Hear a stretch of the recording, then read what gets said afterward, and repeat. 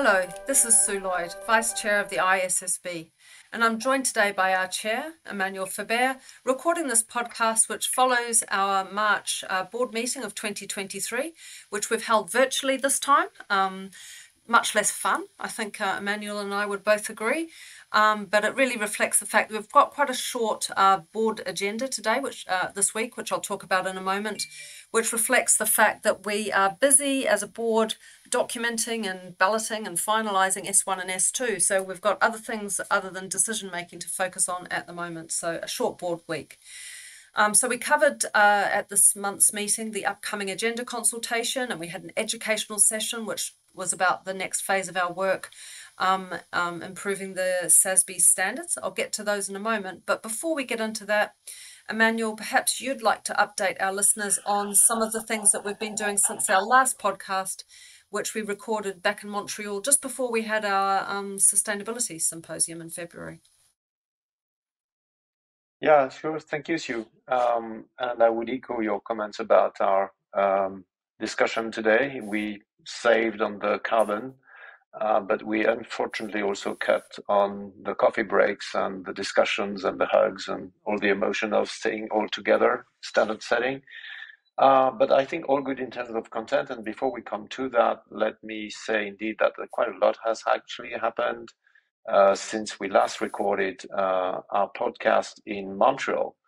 Um, there was certainly first and foremost a very uh, lively symposium the day after uh, the end of our board week in Montreal with over more than 1,000 participants from 45 countries.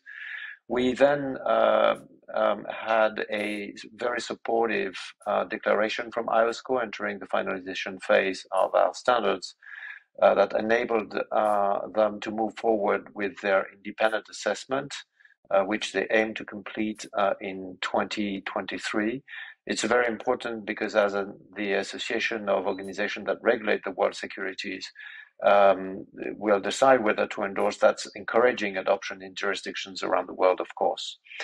We, we then had also support expressed again by the finance ministers of G20 and the central bank governors uh, through a statement in uh, February 24 saying that they were looking forward to the early finalization of our standards. Um, another eventful week was Japan, uh, which we visited with the trustees. Uh, we had a meeting with the Prime Minister, Fumio Kishida, who welcomed progress and also uh, addressed um, uh, an audience uh, in a, an event that we co hosted with the Japanese Financial Services Agency. Uh, we had Larry Fink at this event also providing a keynote.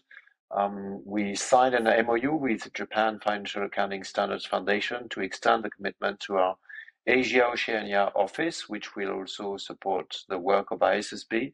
And finally, I'd say, and probably very excited about this, we had a meeting with the Sustainability Standard Board of Japan, who is committed to build uh, on global on our global baseline and to work closely with ISSB with already some uh, very clear deadlines as to when they want to be able uh, to provide um, their own st- set of, of, of, standards. So, I mean, exciting months, and we've seen a number of jurisdictions now starting preparations globally for the issuance of S1 and S2, literally across the globe. And that, and that was a, you know, that, that really paved the way for the next stage, as we will probably discuss at the end of this podcast, of what we're doing with S1 and S2. Um, but now maybe back to this week, uh, Sue. Our March meeting, perhaps you could explain a bit more about the educational session that we had in the first part of our board session um, in, on international applicability of the SASB standards, please.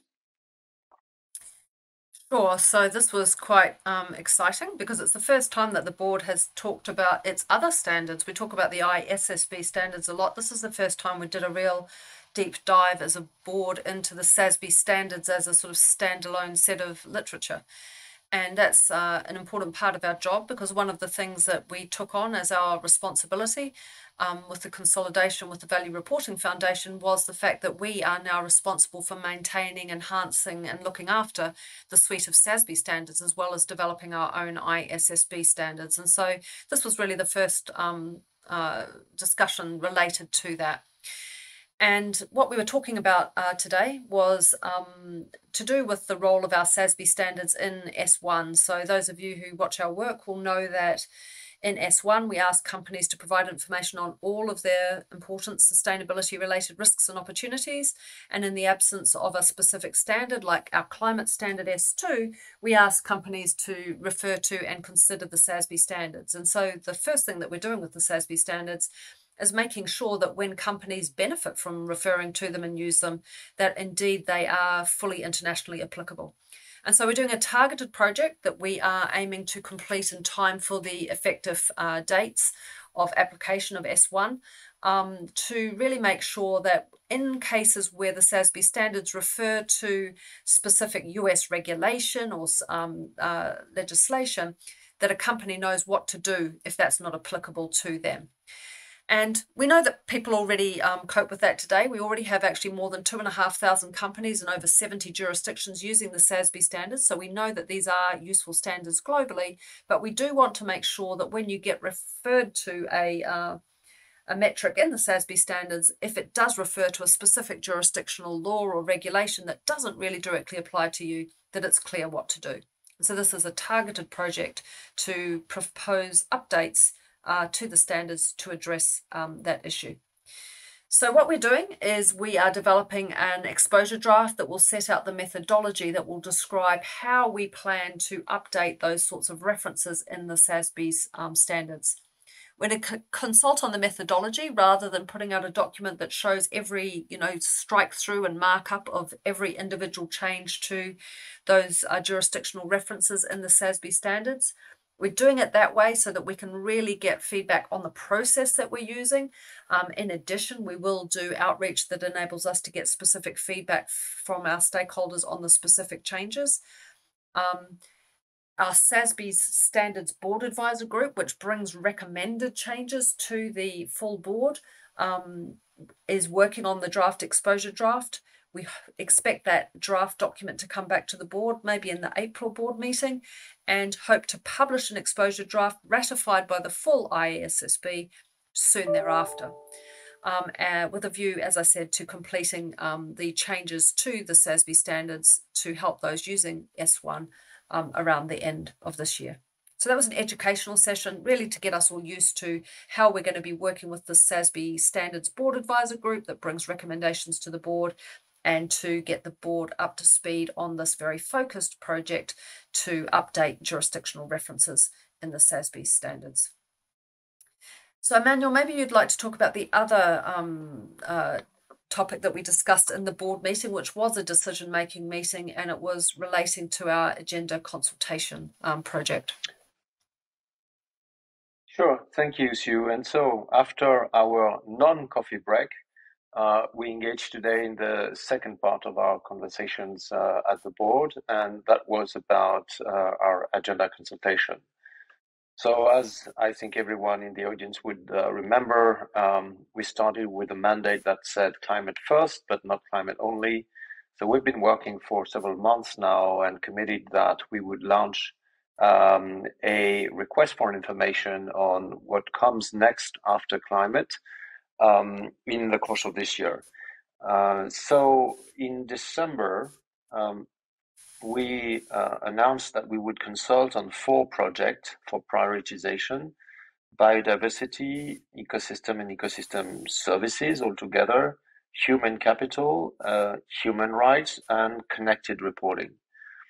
So today's discussion was uh, to progress the finalization by staff of uh, a paper that uh, we will look at in one of our next boards to finalize the RFI uh, document itself. And it focused on the fourth of the projects, connected reporting, um, to decide to advance our description of what that project entails. And the reason that um, the staff felt that was a need um, to to refine our approach here is that we have actually, uh, when finalizing S1 and S2 um, in December, January, and February, um, we've brought a number of additional uh, topics that were worth considering before um, or in the finalization of the RFI. One of them was that um, in, that, in addition to the content of the ED that was nearly a year ago, uh, in December, we decided to um, insert some very fundamental uh, aspects of the integrated reporting thinking in the, the, the core of S1 by recognizing that uh, the value that a company, uh, a business is creating is inextricably linked to its uh, stakeholders, the civil society in which it operates, natural resources it depends on. And by doing that, we've already embedded at the very core um, of, uh, of our standard S1 the, the, some of the very foundational aspects of integrated reporting. The second is that when we finalized um, uh, S1 and S2 in February, we embarked, um, in particular through the January uh, meeting, um, a number of decisions that borrowed from our sister board's work uh, on the IFRS accounting side, in particular when it comes to some scalability and proportionality. Um, and there's a number of examples of that in a paper that was prepared for the February board, and that's very explicit. So there was this notion that uh, connectivity is something that we have already addressed in a significant manner as a very young board in the six months of our work, uh, 20 deliberations, where we borrowed from you know, IAS1 to confirm the materiality assessment that we would use uh, with our focus on our primary users being uh, the users of general purpose uh, financial reports um, to IFRS uh, 8 and IFRS 9 and many others.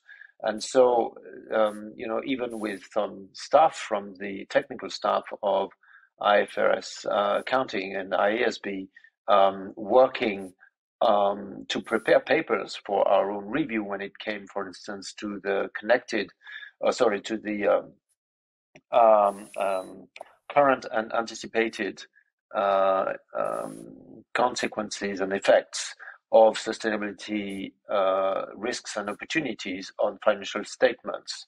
Uh, so, what I'm saying here is that I think we realized that uh, we were embedding the notion of connecting with the financial statements in our everyday standard setting without having a separate uh, project to say, how do we think about connectivity?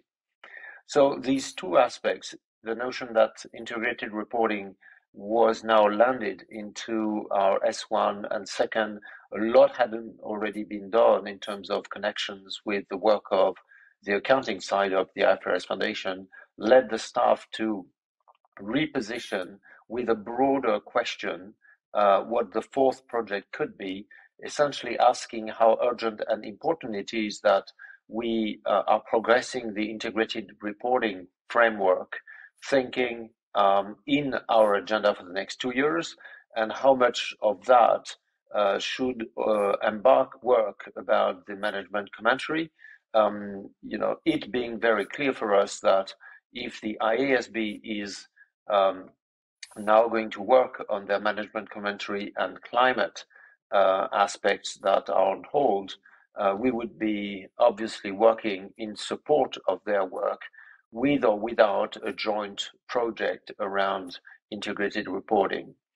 So that's, I think, what we have been discussing. Uh, it was interesting to listen to various comments and through various angles. Not everyone agreed that uh, things needed to be reshaped that way, but at the end of the day, I think there was a, a pretty wide consensus uh, in the decision that we've made that this is the right approach. But and again, I think uh, all aspects of the conversation and all angles that were brought by our colleagues around the table to this will enrich the finalization by our staff um, of the RFI paper, which I'm really excited to be looking at uh, in hopefully not a too long number of weeks um, or high number of weeks, as a, as a board in one of our next uh, sessions. So, Sue, I think that uh, that concluded uh, our our meeting for today. And um, before closing this podcast, could you offer us a little bit of flavor about what's going to happen and what's on the agenda of, uh, of our work before we meet in April in Frankfurt? Sure. So, firstly, lots of reading. That's not very exciting for people to listen to, but it's a reality. Busy reading drafts of uh, S1 and S2 and getting them ready for prime time. So, that will be taking up a lot of our time, but nobody else other than us needs to worry about that for the moment. Um, the other thing that we're doing is really looking forward to sort of the next phase of our life, if you like. So, capacity building and thinking about adoption um, of our standards and use around the world. But let's talk about capacity building for a moment. So, people who have been following our work will know that we have talked quite a lot about the fact that we don't think that our job finishes when we finalise our standards. We know that sustainability reporting is very much um, new. It's still in its infancy, and that's you know particularly the case for emerging markets and smaller companies. But it's also the case that even in uh, developed economies and for larger companies. You know, there's lots of people still learning uh, what uh, sustainability reporting is all about and, you know, needing to collect data and have new systems put in place to get it all going. So we see us ourselves having a really important role to play both directly and with our partners to really get into the space. So what we're doing on there is making sure that basically we help upskill everybody, you know, that there's a level playing field, that everybody understands what's needed and, and can get on board and start their sustainability um, reporting journey. Um, we will particularly focus on meeting the needs of developing and emerging economies, of global south, which is why um, we're fortunate that I have a counterpart as vice chair, Jingdong Hua, who's joined us to really focus on this capacity building with global south in particular. Um, but it's a big job to do. You know, we know that companies need support, the audit firms need support, regulators need support, and even investors using the information need to get used to the type of information that will be available and uh, sort of learn how to use it. And so we're a small organisation and we can only do so much of that ourselves. So we are really delighted to have put in place a partnership framework with many um, from the public and the private sector who will be working with to undertake this big capacity building um, project around the world. So, to give you some tangible examples of the sorts of things that we're working on, we are working with the International Securities Regulators, IOSCO, and their uh, training program. We're working with the UN Sustainability Stock Exchange to update, update guidance for their members and deliver training for um, issuers. We're working with IFAC, um, the accounting side, to deliver training to supplement existing accounting qualifications. And we are also working alongside the Global Reporting Initiative um, and with CDP, especially focusing on how we can get this to work uh, with companies' current uh, reporting practices. So, a really big initiative and push from our side to really complement uh, the publication of S1 and S2. And Emmanuel, maybe from your side? Yeah, well, thank you, Sue. And most of that I have to say we're doing, um, you know, as partners, uh, Jingdong, yourself, myself, and I'm really excited to see also um, our colleagues, members of uh, the board, being able more and more to engage um, in in these important exercises as we are ramping up in our capacity um, to to prepare regulators, um, preparers, investors to use um, to use our standards. Um, so on my side, maybe just a couple of things to add here. Uh, first of all, just say that um, we'd be delighted to have our Sustainability Consultative Committee as well as the Advisory Council of the IFRS Foundation uh, meeting in April in a timely manner uh, to also um, you know get their precious inputs and guidelines as we finalize our uh, paper for the RFI and the agenda consultation, of course and closer to the start setting work immediately in S1 and S2, uh, just to share that Jingdong and myself will be attending the World Bank Spring meetings in Washington, D.C. Uh, in April, and there's a whole slate of meetings, Minister of Finance, uh, bank governance supervisors, and a number of other constituencies and, and stakeholders that we will be uh, meeting and meeting again there um, to uh, um, start and continue the conversation and uh, the important momentum which uh, is there behind establishing a common language for sustainability related uh, financial disclosures uh, worldwide. And so I guess with that and probably more that we can speak next time uh, about, um, I look forward to updating all of our uh, audience here of this podcast with you, Sue, and or Dong on all of this and the outcomes also of our Frankfurt meeting in April uh, during our next podcast. So thank you everyone for uh, attending this uh, this podcast session with you and myself, and we'll speak to you in a month's time. For the latest developments from either the International Sustainability Standards Board or the International Accounting Standards Board, make sure to subscribe on the IFRS Foundation website www.ifrs.org. If you enjoyed this podcast, please take some time to rate, review, and subscribe on your preferred podcast player.